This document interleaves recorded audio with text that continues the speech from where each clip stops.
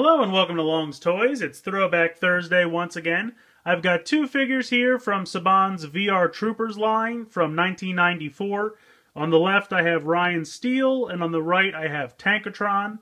Um, these are all part of the large lot of 90s figures I got from the auction recently. Uh, really good price, so I really don't feel bad about taking them out of the packaging. Um, but I think they're pretty cool. I kind of remember the show a little bit from the 90s, didn't really watch it much when it was on. It's obviously uh, a Ameritoku uh, show, so they take um, footage from Japanese tokusatsu shows. Um, but it's very cool. I really like the design of. I'm not exactly sure what the Sentai is called that the Ryan Steele uh, figure is modeled after. If you know, I'd love to know, so let me know in the comments. Uh, but otherwise, we'll go ahead and, well, first I'll show you the back of one of these packages because I do think it's kind of cool.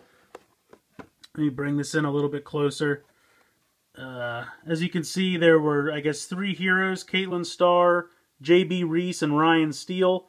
And then there was Dark Heart and Tankotron. So I think that's kind of cool. Uh, down here, apparently they had some vehicles. The VR Pursuit Jet, Skyborg Jet, and VR Turbo Cycle. So those are kind of cool.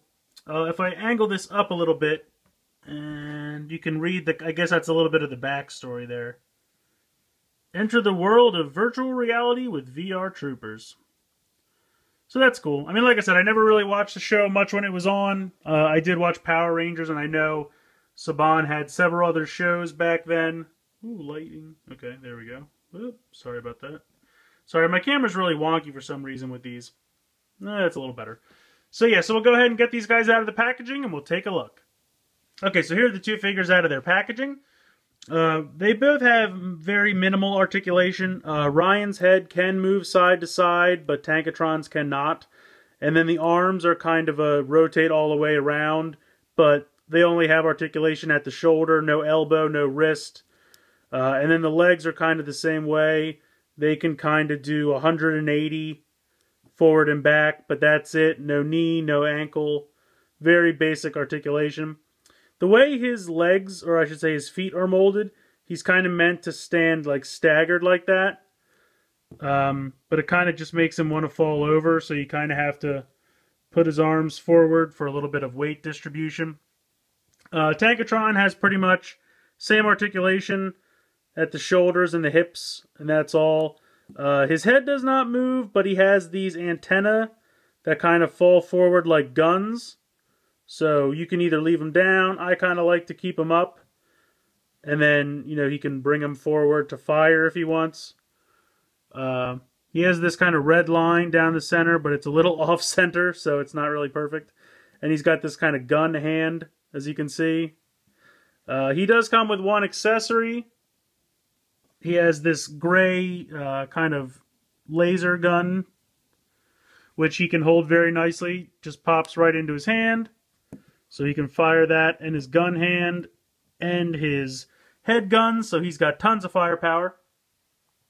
Ryan Steele has a kind of see-through, translucent yellow, yellow, neon yellowish green, like uh, electric sword which just like slides on here to his forearm. And I think that looks pretty good, actually. I really like the look of that. He also has kind of a uh, translucent yellow, same plastic as the sword, uh, laser gun, which can fit very easily into his hand. Oop, there we go. So I will say that I do think it's nice that the weapons are, you know, pretty nice for the kind of basic figures. Uh, decent detailing on them, and they do fit nicely in the hand, which I always appreciate. Clip right in, pop right on, no problems whatsoever. So I think they're kind of cool. I mean, they're not the most articulated figures, but these were action figures back in the 90s. They kind of didn't have all the points of articulation we have today. But I think they're kind of cool. I mean, like I said, I got them for a very reasonable price, so I'm happy with them. And, you know, anything Ameritoku or, or you know, tokusatsu related I'm I'm excited about. So very very cool.